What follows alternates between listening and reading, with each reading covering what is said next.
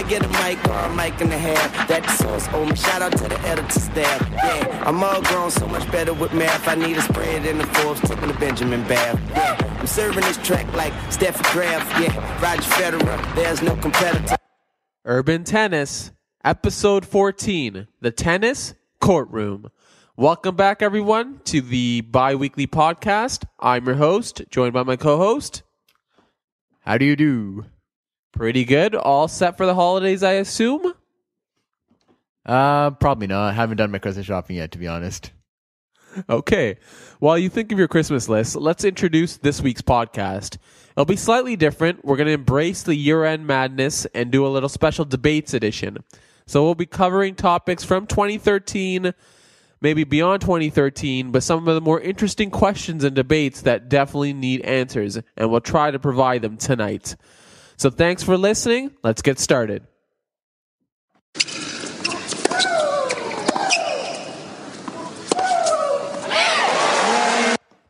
Topic one.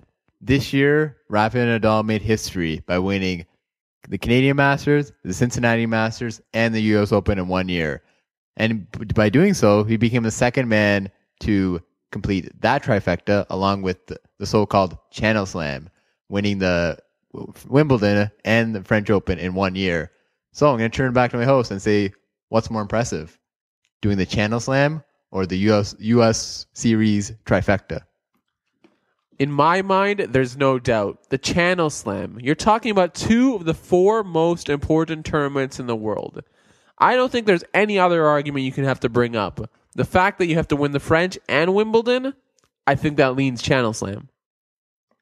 Okay, okay. Well, what about the differences in conditions you have to face? You have to face a more blinding heat in uh, North America when you're playing in Cincinnati in the middle of summer, when you're playing in Canada in the middle of summer, because you're not only facing heat, you're facing humidity. Okay, I agree. Yes, the conditions can be more difficult. Nobody's thinking that the English summer is going to be as hot as New York or Cincinnati. But what about the surface changes and the time constraints you face? You're going from a two week segment on clay, a very slow, um, bland, almost, it's not bland, slow surface that brings everybody into it, longer points. And then you have basically two weeks and you're jumping to grass. Um, with lower bounces, quicker points, it, the adjustments you have to make in order to win both are still extraordinary. And I think that's why the Channel Slam has to be just that notch over the, the North American trifecta. Okay. Well, when you when you're in such specialized surfaces like clay and grass, you have clay and grass court specialists, and then on the other side, you have guys who don't do as well. While when you're playing on hard court, it's an even playing field for the entire field. So, and on top of that, when you're playing at the when you're playing ma- two Masters events, you're probably facing a higher caliber of talent than when you're playing at a Grand Slam in the early rounds, especially. Yeah, I'll attest that the fact that you're playing a much more competitive field, uh, you're gonna get those slouches in the first couple of rounds at French and Wimbledon. But I think uh, inevitably, it comes down to the prestige of those tournaments. Uh, you may be facing the best talent in those North American trifecta, but at the end of the day, if your name can join only four men to do it, Laver, Borg, Federer, and Nadal, that's saying something. Well, only three men have ever completed the Canada Cincinnati US Open Series trifecta. Fair point. I think we're almost at a decision. The decision is in. The history of the Channel Slam makes it the more impressive effort.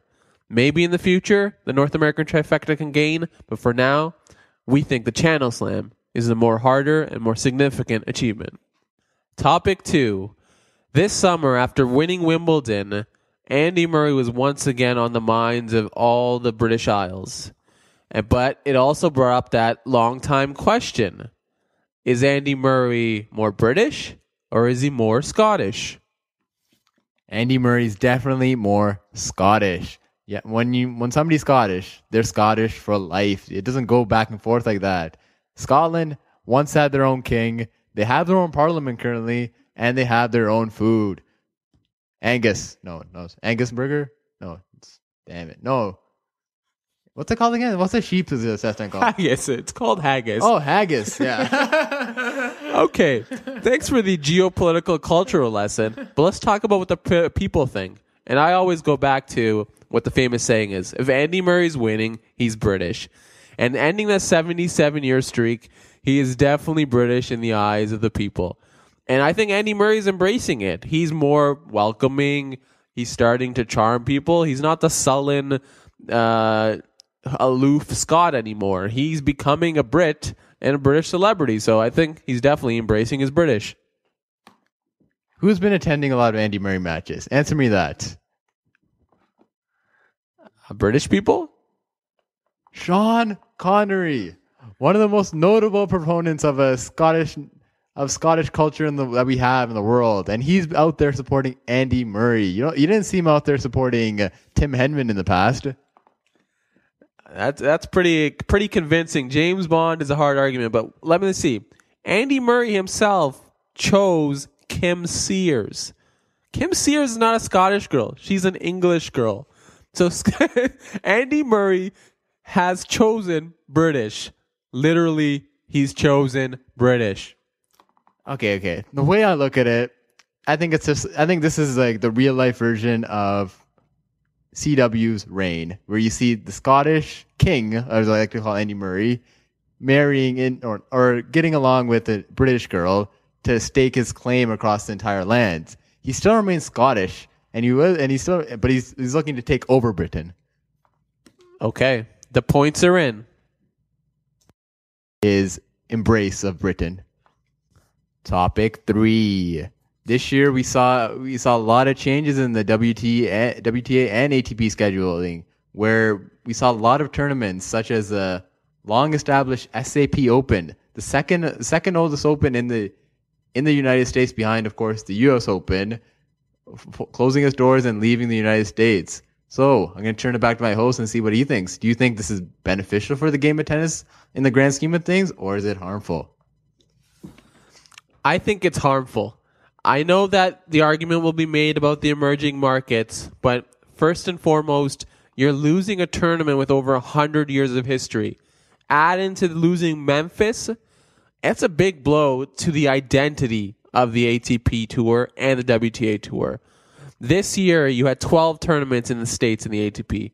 What is that number going to be in the future? And I think ultimately, that's going to be harmful, whatever that number becomes.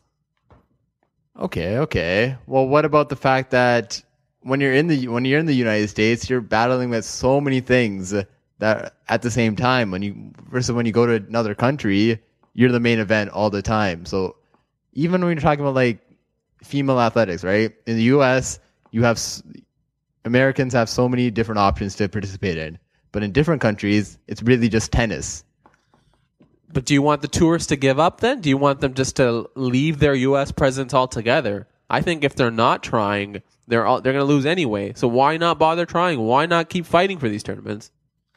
Well, I think because of the way that uh, because of the way information is spread these days, it's so much easier that a tournament doesn't have to be necessarily in a, a certain place in the country so that people can participate and enjoy tennis. It can be anywhere in the world as long as people can watch it now. I mean, it's not the past anymore where you didn't see any tournaments televised online or uh, through or through TV, whatever. Right now, you now you can access any tournament wherever you are in the world. Fair enough, but let's talk about where these tournaments are going. Um, East Asia, um, into South America. These are emerging markets, but how stable are they going to be really in the future? Are these really uh, rush decisions that these tours are making, and is it just going to come back to bite them? Well, I don't think. I think the the beauty about how tournaments change year to year is that if these if these tournaments ever do level off and they are not making a big profit, then they do have their established markets that they can go back to. I mean, it's not like the U.S. is going to go anywhere. But are those markets going to be there? You keep saying that is it going to be there, but then you argue that the fact that they're fighting with so many things. We saw with the NHL on ESPN. Once you leave, you can't really come back. So if we lose those tournaments in the summer in the US, if we lose those early April ones, is there going to be that appetite for it to come back when maybe these South American or these Asian tournaments fail?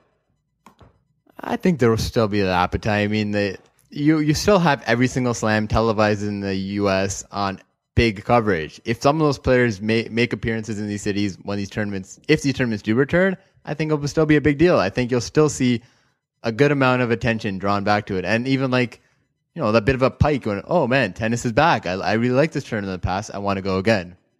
Well, yeah, I, I think it's definitely something they should be considering right now, just because the fact that a lot of the top players are European and they're they're starting to come from other countries. But when there is a power chef back to say American tennis or Australian tennis, you know, maybe there will be a disconnect with those audiences, and you know, they're they're gonna run back, and maybe those things won't be there. I'm just saying, will those things be back? Well, yeah. If if an American player, if American players start dominating, especially in the men's game where they're really not exi- really non-existent at this time, I think American people will get interest back into the into the game of tennis wherever it is. Like if it comes back to San Jose, I think it will. I think it will be a success if we. Have, yeah, I think it'll be a success. All right, I think we've. I think the points are in, and we're ready to make a decision. The decision is in. However hard we fight for the American tournaments, the change is coming and the change is moving overseas. So I think ultimately the decision is that this will be beneficial, at least in the short term, for the ATP and WTA tours. As we reach the end of the year, many baseball pundits are debating over the Hall of Fame merits of baseball players. But also, tennis players are being debated by the International Tennis Hall of Fame as they released the shortlist for their 2014 candidates uh, a couple of weeks ago. On the list were Lindsay Davenport, Conchita Martinez, and Mary Pierce. Now, we all know that Lindsay Davenport is a lock, first ballot Hall of Famer. Her credentials speak for herself. In the modern era, she's, I think, top five in many statistics and one of the most dominating Americans of the last 20 years. So she's in. But of the other two, that's where the debate gets interesting. So let's ask who would you rather have in the 2014 Hall of Fame class? Conchita Martinez or Mary Pierce? I'm going to go with Mary Pierce. I think uh, her resume speaks for itself. I mean, you got four Grand Slams, 18 titles overall, high, over, highest ranking of number three in a very, very competitive era where you have both Williams sisters, Justine Henin. Um, then the list goes on. I, I just want to say four, but only two are in singles. So I think the difference isn't too bad. But I'm going Conchita Martinez. She may only have the one uh, single slam, but she was, I think, more consistent. She was one of those players that every week in, week out, she was a factor on tour. Um, her credentials speak for themselves. She had 739 wins, which are 200 something more uh, than Mary Pierce. 33 titles, 15 more than Mary Pierce. And she, like you said, reached number two in the world in an era where she was up against Graf, Seles, Sanchez Vicario. So I think that kind of leans me towards Conchita Martinez. Okay, okay. Fair enough, fair enough. But let, us look at their head to head record then. Let's look at the one of the let's look at one of Mary Pierce's Grand Slam victories where she did defeat Conchita Martinez in the 2000 French Open. Okay, but then I would argue that you you think she's a Spanish player, but I would say that she, her her clay courts were not her specialty. So I think just the fact that she was able to make that final, able to make a hard court final, that's something to me that is more, I guess, impressive. But uh, about Mary Pierce, what do you think uh, about her more shorter tenured career? Does that harm her? Where Conchita Martinez was fairly good for a longer period of time? Uh, I don't think it does. I think, uh, I think really, especially when we're looking at when Mary Pierce really retired about eight nine years ago, that was a different time in tennis where you weren't really expected to play as long as you were today, right? I mean, careers were shorter. Careers ended when you're 25. Mary Pierce playing until she was about 30. Well, I think that alone was a bit of an accomplishment. Okay. Um, but I want to also bring up Conchita Martinez had a pretty uh, accomplished international career.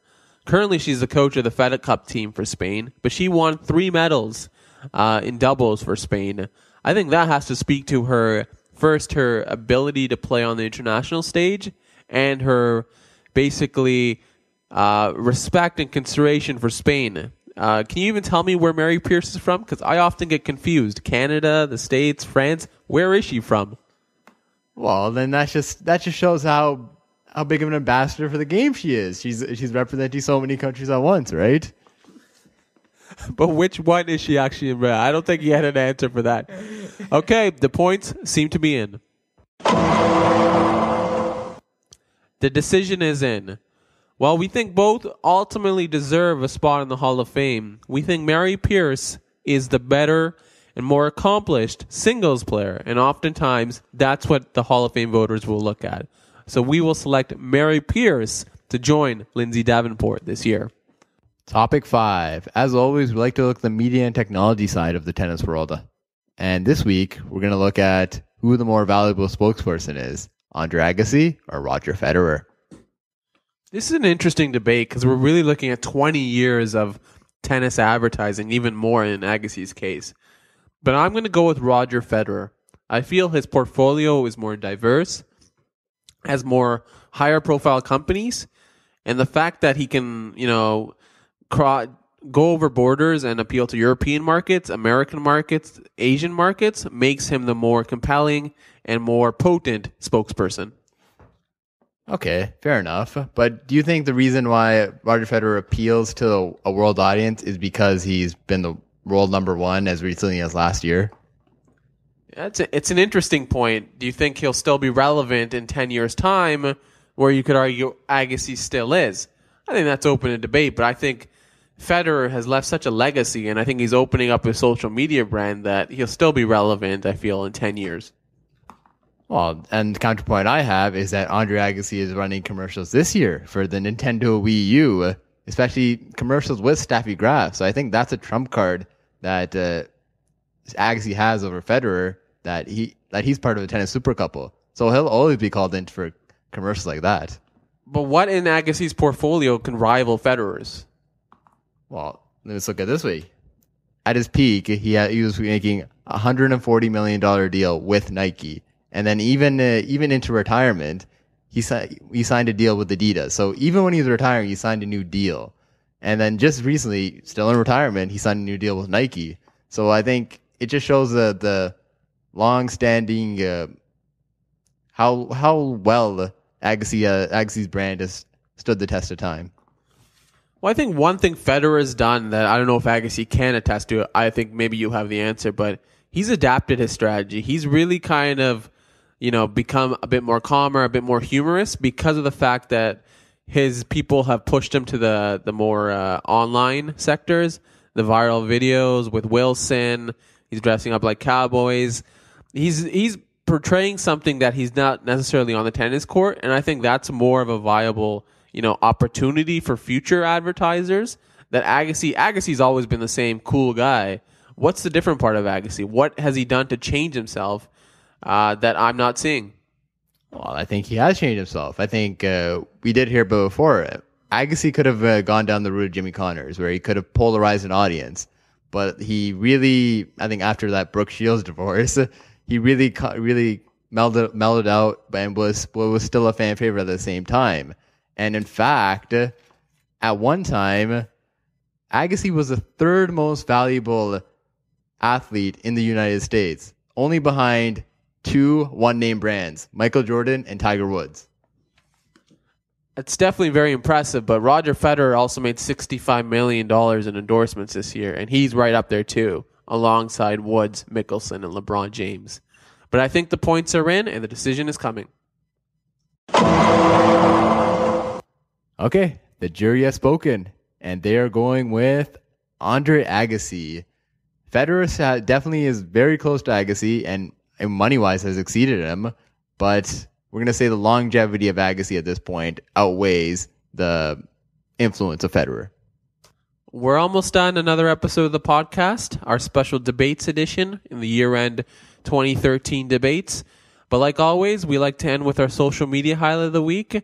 Uh, we have a couple this week. A lot of players are settling into Australia, into Melbourne, and they're tweeting out their pictures on the practice courts, those famous blue courts with the Melbourne signs. So please check out your favorite players' Twitter, Instagram, Facebook accounts because you'll see them getting ready for the Australian Open. Only four weeks away. Uh, thanks for listening. You can check out the uh, podcast on SoundCloud, on YouTube, on backrowsports.com. And as always, it's our privilege to present Urban Tennis, Episode 14 The Tennis Courtroom.